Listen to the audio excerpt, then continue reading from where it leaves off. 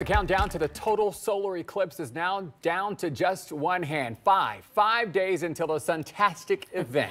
And more than 31 million people from Texas to Maine will be in that prime location to experience Monday's eclipse, including Ohio. Uh-huh. Thanks for staying with us here for 10 TV News at 5:30. I'm Angela An. And I'm Andrew Kinsey. Tonight, we are making sure that you are well prepared to experience the eclipse safely. Let's begin with what COSI experts are telling us.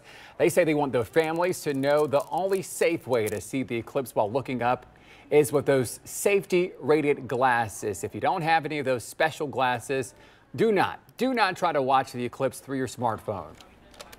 If you point your phone directly at the sun or an eclipse for an elongated amount of time, your phone's camera will be damaged. It'll hurt your eyes looking through your screen, and the reason behind this is that there's no pain receptors in your eyes, and the UV radiation that's going directly into them is harmful. So if you look at the sun for a couple seconds, like that doesn't hurt, you will most likely have damage later.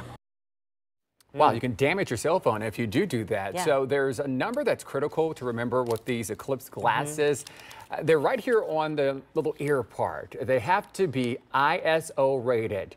You see the number, there we go, 12312-2.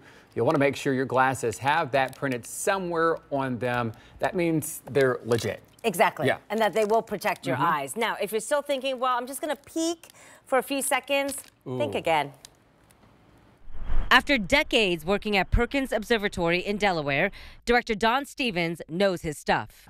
There are safe ways to use a telescope, but you need special filters. The astrophysicist showed us what happens if you don't and decide to look through the scope with your naked eye. If you were unwise and decided to do this, this is basically what's going to happen.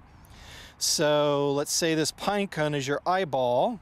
As you can see, very quickly, it begins to burn this cone. Your eyeball's wet and squishy. Instead, it's going to flash heat the fluids in your eyeball and explode your eyeball out the socket. Stevens also cautions anyone who thinks they can use solar eclipse glasses with a telescope. Well, let's see what happens. He says the magnification is just too much for your eye to handle. Let me get it centered here. Yeah, as you see, it has melted its way through the, the plastic very quickly. Rather than risk your sight, Stevens suggests enjoying the eclipse by looking around you instead of up. Like a cow pasture, you'll see the cows lay down. They'll think it's becoming night. Uh, if the crickets are out, you might start hearing them. Um, birds will begin to roost.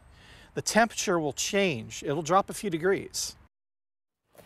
Does that mean we get to go to bed too when it gets oh, night? Oh, boy. I don't know, but in other words, he says leave the picture taking to the pros. Perkins Observatory, by the way, will be closed on Monday.